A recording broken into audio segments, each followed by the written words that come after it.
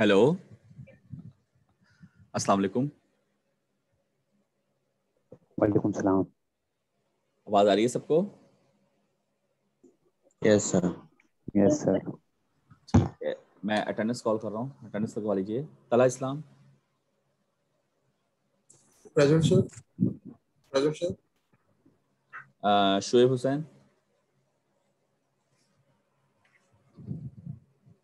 शुएब नहीं है। Hamza Faheem Hamza Faheem Yahya Malik Yahya Abdul Moiz present sir.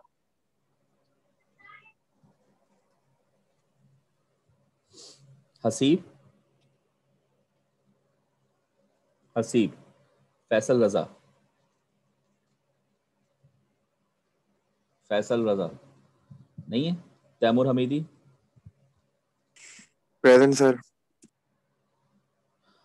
Asif? Asif? नहीं है? अवैस? प्रेजेंट सर अवे गुलाम मोयुद्दीन गुलाम मोयुद्दीन नहीं है? मिनहाज? प्रेजेंट सर मिन, कौन प्रेसिडेंट है? मिनहाज आप हैं? यस यस सर और गुलाम मोयुद्दीन है? नहीं है? सर मेरी रह गई हसीबुर रहमान। ठीक है। मैं अभी ज्वाइन हुआ हूँ सर बड़े दिन बाद आया यार हसीब। सर वो गाँव था सर वहाँ पे नेट इशू था सर नेट नहीं था। अच्छा चलो very good Shakiba? Present sir Iqra? Present sir Anika present sir Mohammad Uzair Uzair नहीं है मुस्कान। मुस्कान भी नहीं है Ammar. Ammar Jama. Hussain? Present, sir. Najeeb? Present, sir. Abdul वासे अब्दुल वासे नहीं है? कामरान पीरजादा रबियान रबियान रबियान नहीं है? मोहम्मद हमजा मोहम्मद हमजा।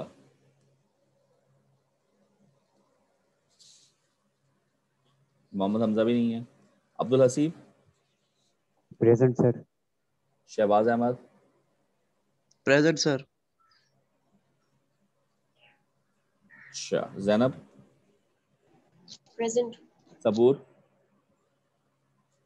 सबूर नहीं है Zafeer present sir Farheen present sir Amna Hamna Qamar Present, sir. Dayan present sir Riza present sir Ukasha present sir Ghulam Murtaza present sir Afraz Present, sir. Okay किसी की रह गई है? जल्दी से बता दे। हो गई सबकी? Sir, Ammar.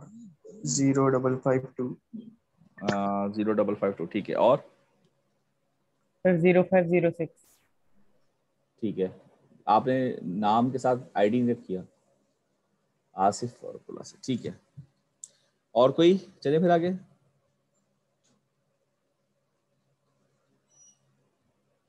Sir zero five zero nine लगा दी। जी। सर ये मेरे नाम से एक और आईडी आई है इसमें क्लास में।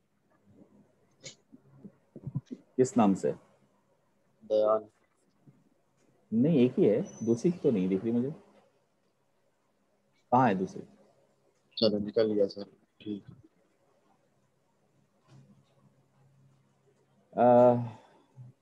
भाई देखिए मैंने लास्ट क्लास में भी आपको कही थी बात आप सब लोगों को कि आप सब लोग ज़ाहिर है आप लोगों के पास आईडी और पासवर्ड होता है। आप ही किसी को देंगे नहीं तो फिर आप ही क्लास से कोई स्टूडेंट होगा जो कि दूसरे की आईडी बनाकर आ जाएगा और उससे कोई वो आ, फ़ायदा हासिल नहीं कर सकता।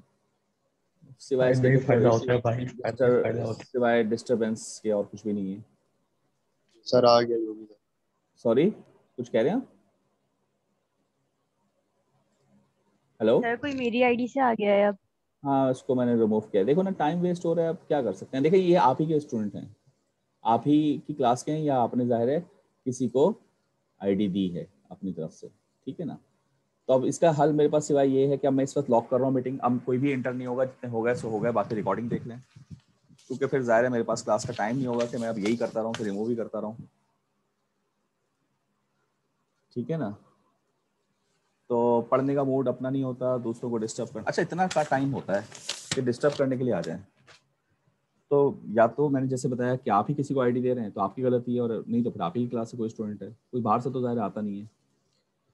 चलिए हम स्टार्ट करते हैं। ये बताइए लास्ट टाइम हम लोगों ने लेक्चर कहाँ तक कर लिया था? आ, कुछ याद दिलाएँ मुझे? ऑल्टरनेटिव हमने स्टार्ट किया था ना? जी सर। जी जी, कहाँ तक हो गया था ये? कुछ आइडिया है आपको?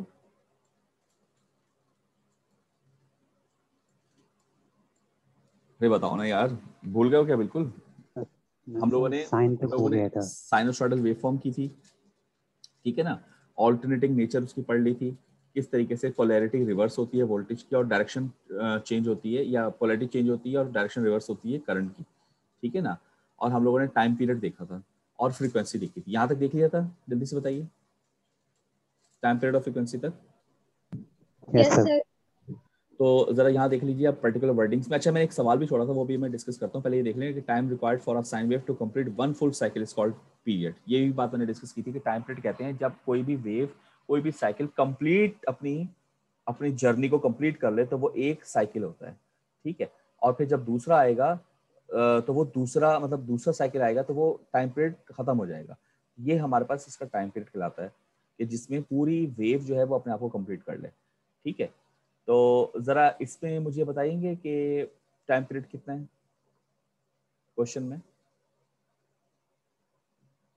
What is the period of the sine wave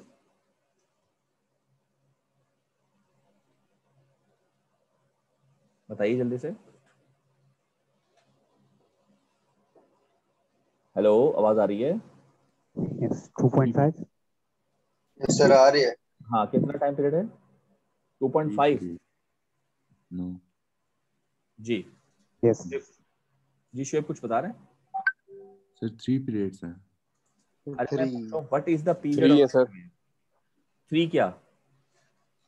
Three kilogram three three seconds जी क्या कह रहे हैं? फ्रीक्वेंसी है इनकी ना। सर फ्रीक्वेंसी थ्री है ना? मैं पूछ रहा हूँ सवाल देखो ना यार क्या लिखा है? What is the period time period बताए ना टी कितना है इसका? ये इसका period one two three three है। कोई नहीं बता सकता क्लास में से। जी। Ammar Talha. 12 second five second और कोई बताए? हुसैन इकरा? बताइए। Zafeer? Sir zero point three. अरे यार सब गलत बता रहे हो। फोर सेकेंड है इसका टाइम पीरियड दिख नहीं रहा आप लोगों को। यहाँ से वेव शुरू हो रही है यहाँ कंप्लीट हो रही है। फोर सेकेंड नहीं लिखा हुआ। क्या हो गया इसमें? इतना मुश्किल सवाल कहाँ से आ गया ये? बताओ मुझे। हैं? कि पूरी क्लास जवाब नहीं दे सक रही है। ये क्या है? The time required for a sine wave to complete one full cycle is called period ये बता नहीं है कि जब ये शुरू हो गई तो यहाँ खत्म हो गई तो ये पूरा क्या कहलाता है? टाइम पीरियड तो आपको ये सवाल नहीं दिख रहा कि यहाँ से शुरू हो रही है और कहाँ खत्म हो रही है? यहाँ पर। तो टाइम पीरियड कितना होगा उसका? फोर सेकंड नहीं होगा? बताइए। सर आगे वाली वेव को काउंट नहीं करेंगे? कौन सी वाली वेव मुझे एक बात बताएँ यहाँ से वेव शुरू होकर खत्म कहाँ पे हो रही है? यहाँ पे खत्म नहीं हो रही क्योंकि ये तो रिपीटेशन है। ये तो रिपीटेशन है। ये तो कयामत तक चलती रहेगी। तो वेव तो कंप्लीट हो गई ना यहाँ पर। क्या कहते हैं आप? जल्दी से बोलें भाई टाइम वेस्ट नहीं करें। बताइए। यस सर तो टाइम पीरियड आपका कितना हुआ? बताएँ। फोर सेकेंड फोर सेकंड पढ़े क्या कह रहा है? Show three possible ways to measure the period of the sine wave how many cycles are shown कह रहा है, तीन पॉसिबल तरीके क्या हो सकते हैं? वैसे तो मैं आपको बताऊँ इनफाइनाइट तरीके हो सकते हैं। लेकिन वो तीन पूछ रहा है सिर्फ़ तो तीन तो बहुत आसान है बताना, मैं तो इनफाइनाइट कह रहा हूँ। एक तरीका ये हो सकता है कि आप इस पॉइंट से ले इस पॉइंट तक। तो एक तरीका हो गया ना? यानी कि यहाँ से यहाँ तक का ड्यूरेशन ले लें तो वो क्या कराएगा इसका टाइम पीरियड एग्री करते हैं आप लोग? बताएँ जल्दी से। क्लास यस सर दूसरा तरीका दूसरा तरीका ये हो सकता है कि मैं इसकी पीक ले लूँ और अगली पीक ले लूँ जब आ रही है। उन उनका उनका ड्यूरेशन लूँगा तो वो भी कितना होगा बताएँ उनका ड्यूरेशन भी कितना होगा? हेलो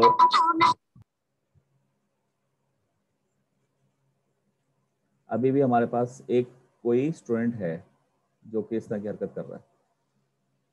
जी बताइए जल्दी से क्या ये टाइम पीरियड होगा कि नहीं होगा? यस सर और तीसरा तरीका क्या हो सकता है? सोचें।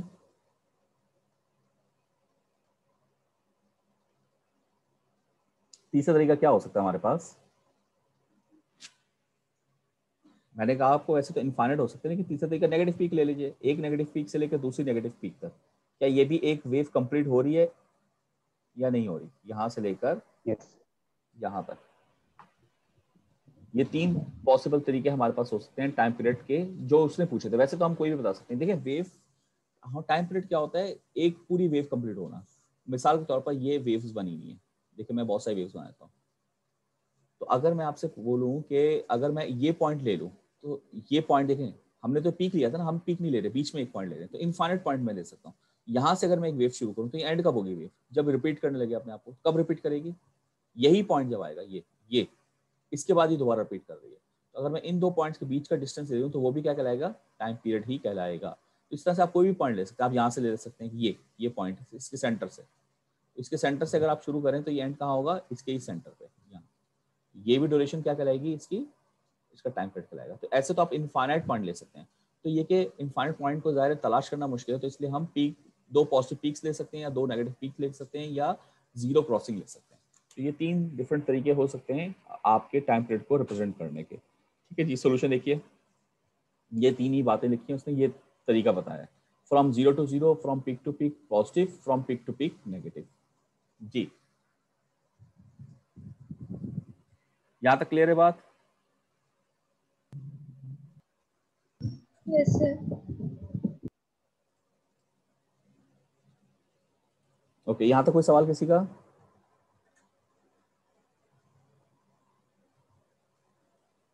जल्दी से बताइए। दो सौ। ठीक है आगे चलते हैं। नेक्स्ट हमारे पास कॉन्सेप्ट आ रहा है frequency of a sine wave तो फ्रीक्वेंसी क्या होती है? ज़रा एक इस फिगर को अगर आप देखें तो आपको एक आइडिया मिल रहा होगा कि मुझे बताएँ कि इसमें दोनों में अगर आप देखें तो किसकी फ्रिक्वेंसी आपको ज़्यादा लग रही है? दोनों वेव देख के बताएँ इसमें फ्रिक्वेंसी किसकी ज़्यादा है? सर राइट वाले की यानी फिगर बी की?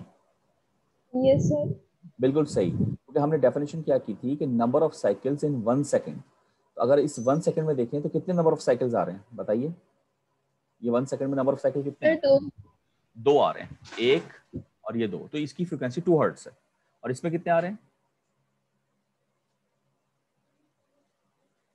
सर फोर तो इसकी फ्रिक्वेंसी हो गई फोर हर्ट्स तो आपकी फ्रिक्वेंसी होती है यानी टाइम पीरियड और फ्रिक्वेंसी एक दूसरे का इन्वर्स होगा टाइम पीरियड क्या है? एक वेव कंप्लीट करने में टाइम कितना लग रहा है? और फ्रिक्वेंसी क्या है? एक सेकंड के अंदर कितनी कितनी वेव्स कंप्लीट हो रही हैं, कितनी वेव्स आ रही हैं। ठीक है? तो दैट इज़ कॉल्ड फ्रिक्वेंसी और इनका रिलेशनशिप आपस में क्या हो गया? F equals to one upon T या T equals to one upon F यानी सिंपल इनवर्स रिलेशनशिप है। इनवर्स एग्जिस्ट कर रहा है इसका। ठीक है जी? यहाँ तक क्लियर बात? जी। अगर क्लियर है तो आइए और इसका जरा आंसर करें कि इसमें से हायर किसकी है और दोनों का पीरियड ऑफ़ फ्रिक्वेंसी मुझे मालूम करनी है। बताएँ हायर किसकी है? सर बी की। बी की। इसकी फ्रिक्वेंसी बताएँ ए की। सर थ्री और इसकी? फाइव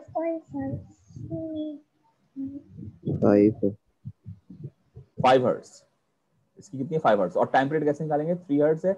वन अपॉन थ्री करके टाइम पीरियड आ गया। फाइव हर्ट्स है वन अपॉन फाइव करके, ये आपका क्या आ गया? दोनों टाइम पीरियड्स आ गए इनवर्स रिलेशनशिप है। ठीक है? तो ये यहाँ तक तो बहुत आसान सवाल है।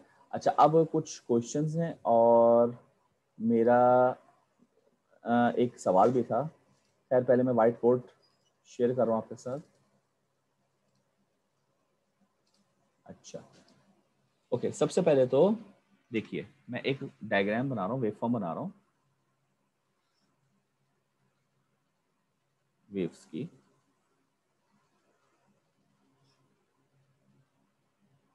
ठीक है। और मैं आपसे कहता हूँ कि चलें, पूरी की बात कर लेते हैं। यहाँ से लेकर यहाँ तक का टाइम थ्री सेकेंड है। इसकी फ्रिक्वेंसी बताएँ। जी, कौन बच्चा बताएगा? थ्री पॉइंट फाइव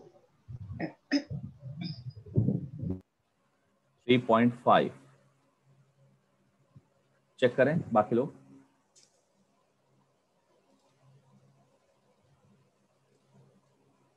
चेक करिए।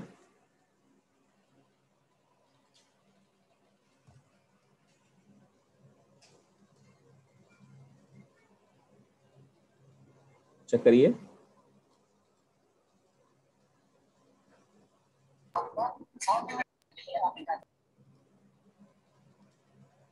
जल्दी से चेक करें। ये सही है सही आंसर है या गलत है?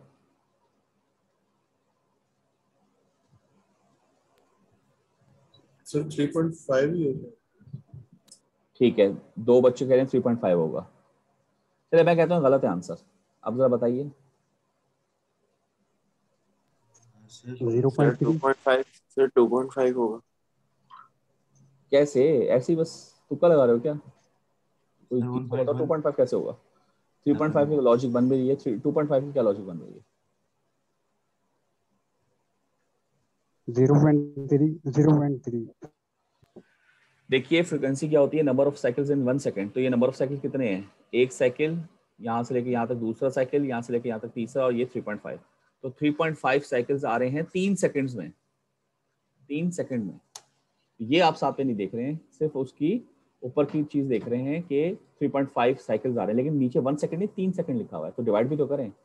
कितना आएगा? डिवाइड करके देख लीजिए जो भी आएगा। आंसर जी। ये चीज़ क्लियर है सबको? जल्दी से बताइए।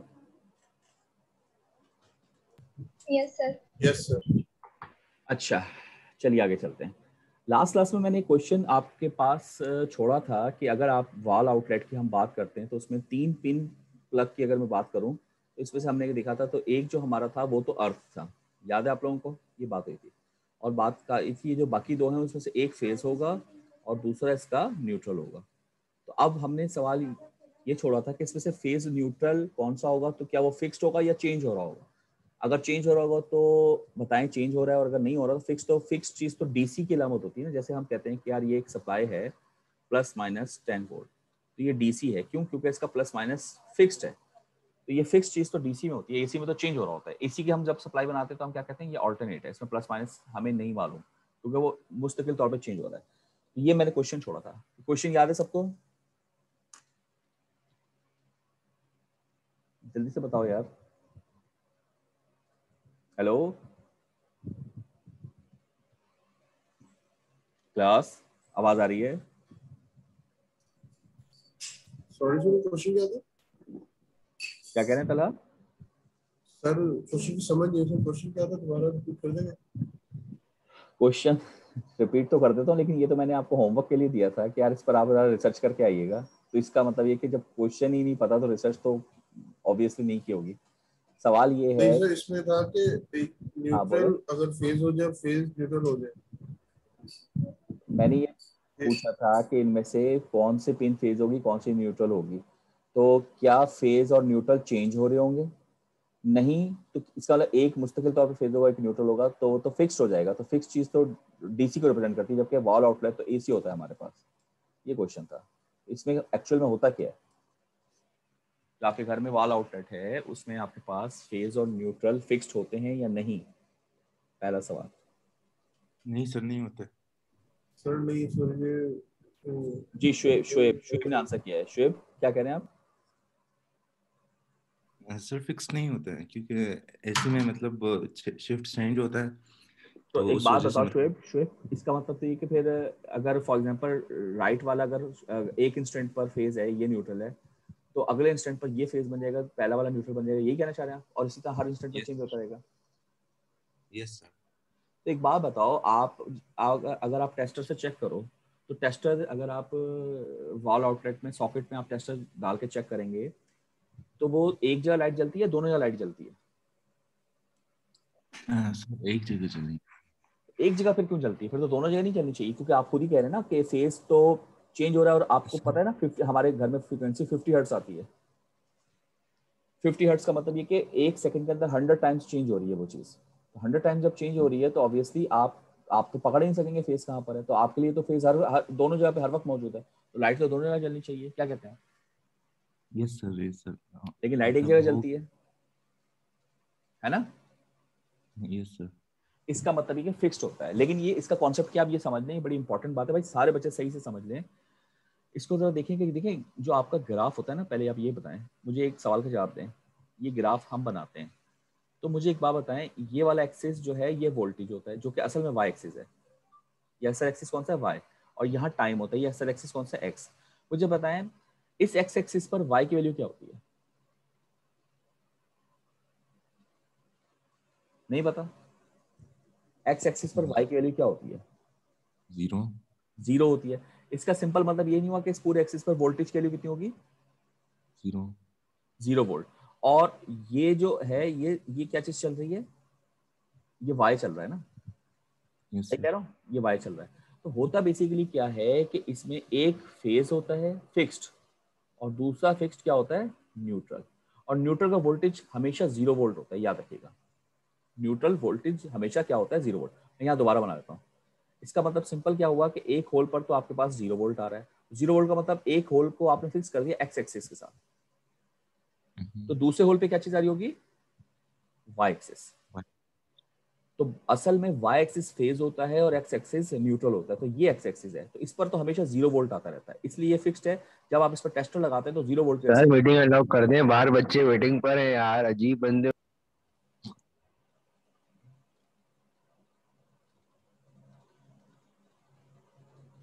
दयान अरे सर मैं नहीं था।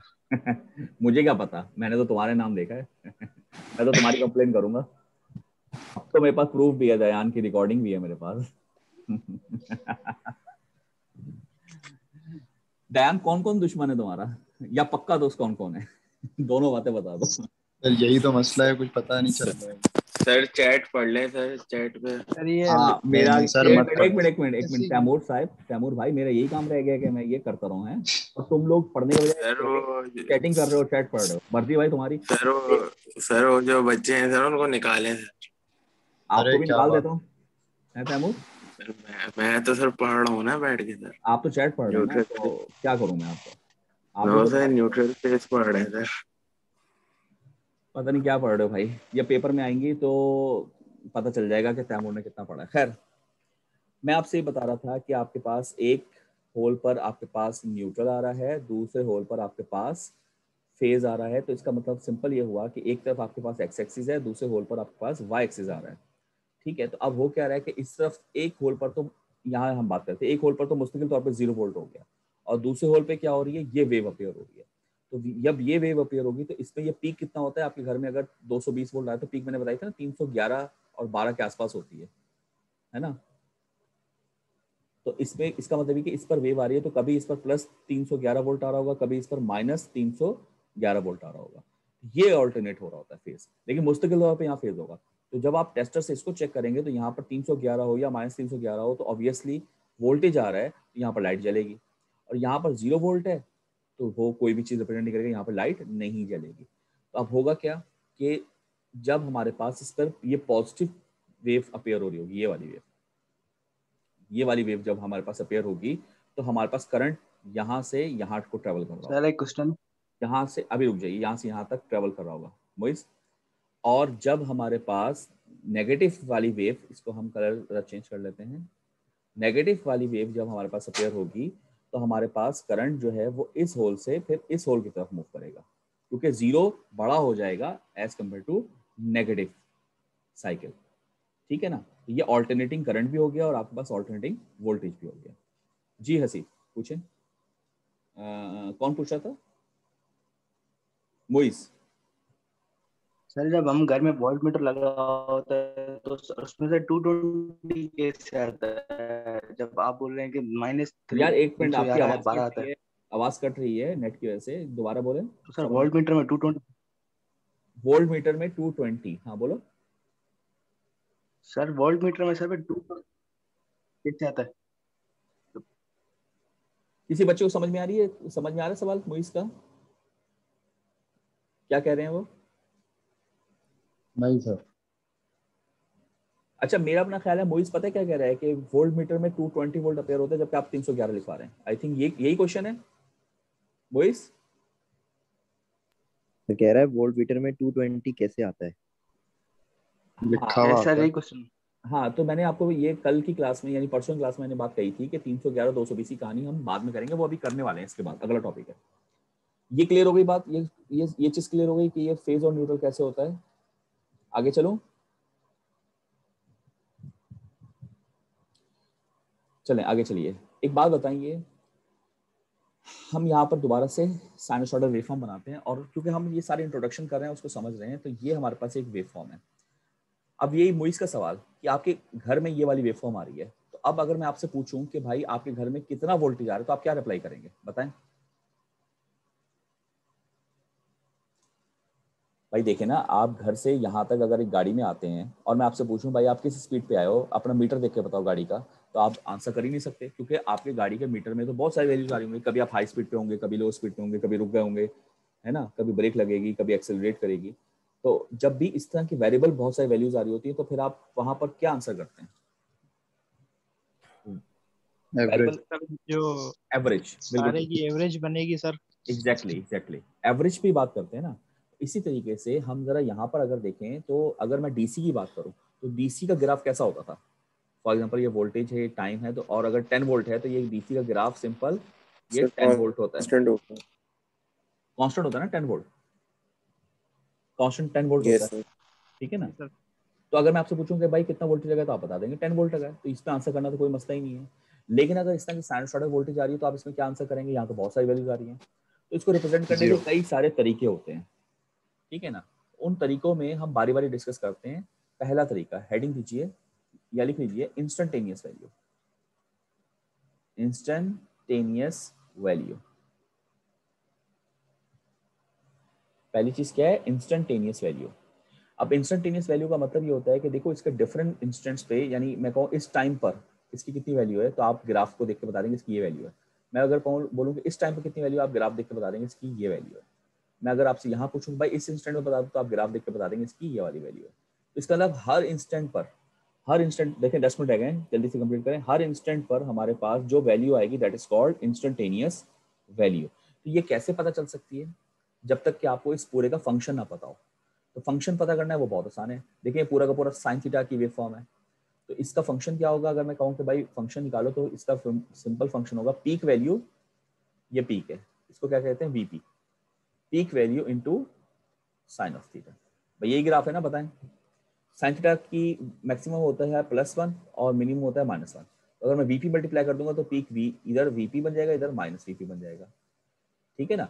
वीपी साइन थीटा तो अब आप कहेंगे, यहाँ पे डिफरेंट थीटा की वैल्यूज़ रखें तो डिफरेंट वी की वैल्यूज़ आ जाएँगी। क्योंकि हम ऐसे ही करते हैं ना ग्राफ जब बनाते हैं तो एक्स और वाई की वैल्यूज़ होती है हमारे पास। बताइए ना यार एक्स की डिफरेंट वैल्यूज़ अगर मैं रखूँ वन टू थ्री तो वाई की वैल्यूज़ आएँगी ना हमारे पास? हेलो यस सर इसी तरीके से आप एक्स की वैल्यूज़ रखें वाई आ जाए।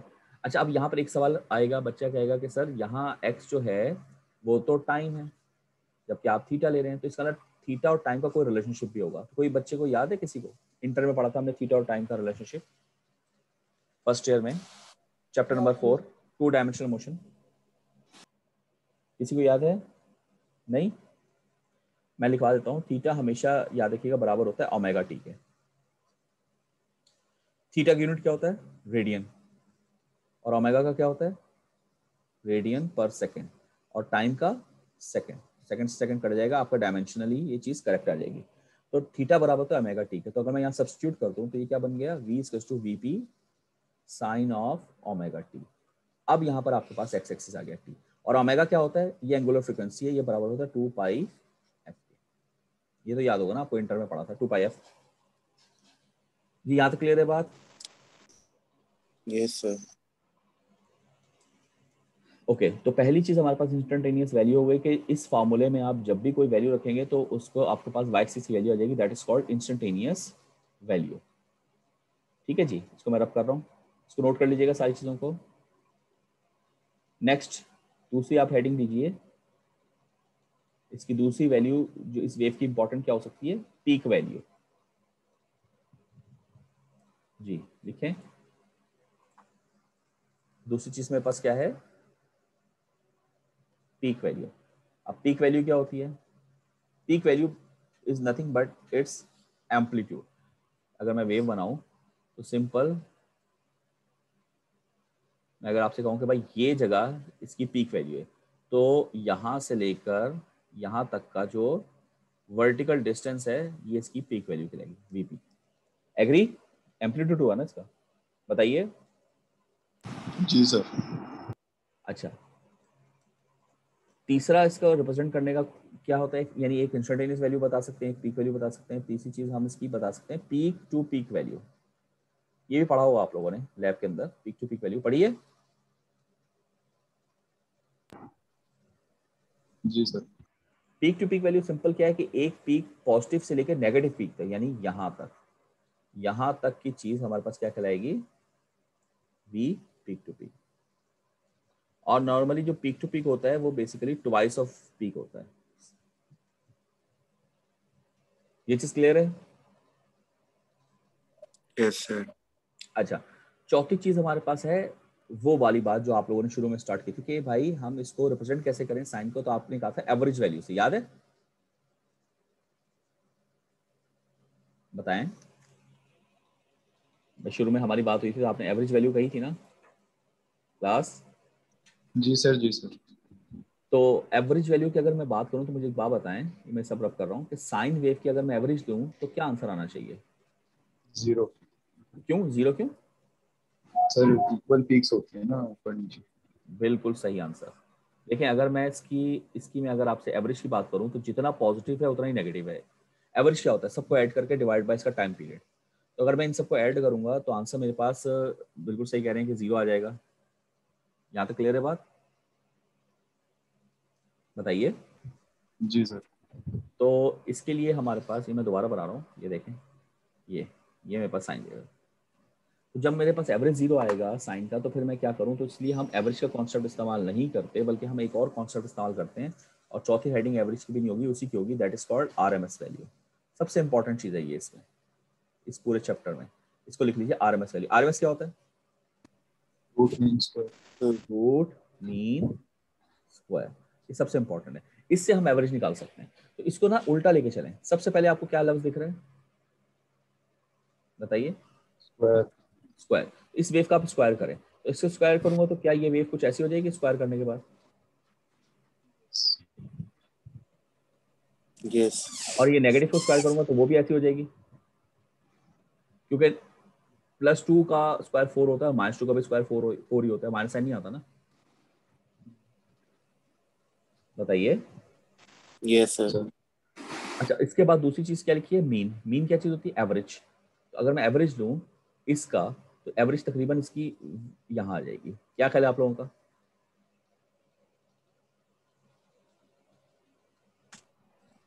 यस और आखिर में हम इसका रूट ले लें, क्योंकि शुरू में हमने स्क्वायर लिया था, उसको कंपनसेट करने के लिए एंड में हम रूट ले लें। जब हम एंड में रूट ले लेंगे तो ये हमारे पास वेव फॉर्म जो है, वो नीचे होकर यहाँ पर आ जाएगी। ये इसकी एक एवरेज वैल्यू होगी that is called R M S value और ये कैसे निकलेगी तो इसका फॉर्मूला लिख लीजिए वी आर एम एस यानी voltage of R M S किसके बराबर होता है? तकरीबन point seven zero seven of peak voltage इसको बॉक्स कर लें। ये हमारा सबसे इंपॉर्टेंट फॉर्मूला लेकिन it is only valid for sine wave सिर्फ़ और सिर्फ़ ये साइन वेव के लिए वैलिड है। पॉइंट सेवन ज़ीरो सेवन यानी हम ये कहते हैं कि बेसिकली आर एम एस जो है वो सेवेंटी पॉइंट सेवन परसेंट होता है। किसका? पीक का। सेवेंटी पॉइंट सेवन परसेंट किसका है? पीक का। तो यहाँ तक बात क्लियर है सबको? यहाँ तक कोई सवाल? यहाँ तक कोई क्वेश्चन जल्दी से बताइए। इसको नोट कर लिया पॉइंट सेवन ज़ीरो सेवन को। आप मुझे बताएँ जल्दी से कि आपके घर में जो अभी मुइज ने सवाल पूछा था कितना आ रहा था मुइज 220 दिखाता है ना आपका? मीटर बताइए 220 दिखाता है ना? मोइस पता नहीं मोइस चले गए या है नहीं।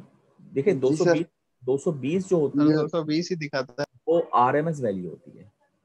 आपका मीटर जो दिखाता है वो आरएमएस क्योंकि आरएमएस इज़ एन एवरेज तो जरा रखें यहाँ पर यहाँ पर 220 रखें और बताएँ आपका पीक कितना आ रहा है घर में।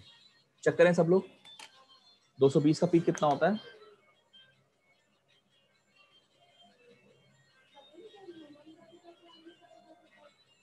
जल्दी से बताइए। तीन सौ ग्यारह। Exactly exactly. यही मैं आपको शुरू में बात बताया था कि पीक हमारा जो 311 होता है वो बेसिकली इस आरएमएस से निकला हुआ है। ठीक है ना? 311 पॉइंट समथिंग टू वोल्ट के आसपास। ठीक है ना? तो ये हमारे घर में पीक आता है मगर पीक हम इसलिए डिस्कस नहीं करते कि हम एवरेज को डिस्कस करते हैं दैट इज़ आरएमएस भाई यहाँ तक बात क्लियर हो गई?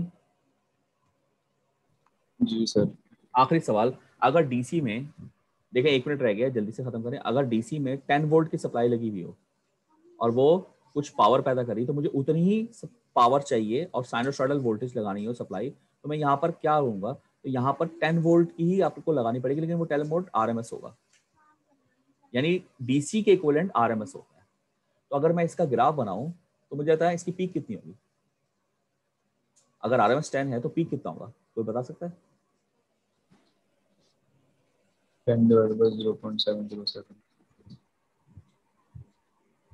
जल्दी से बताए पीक कितना होगा?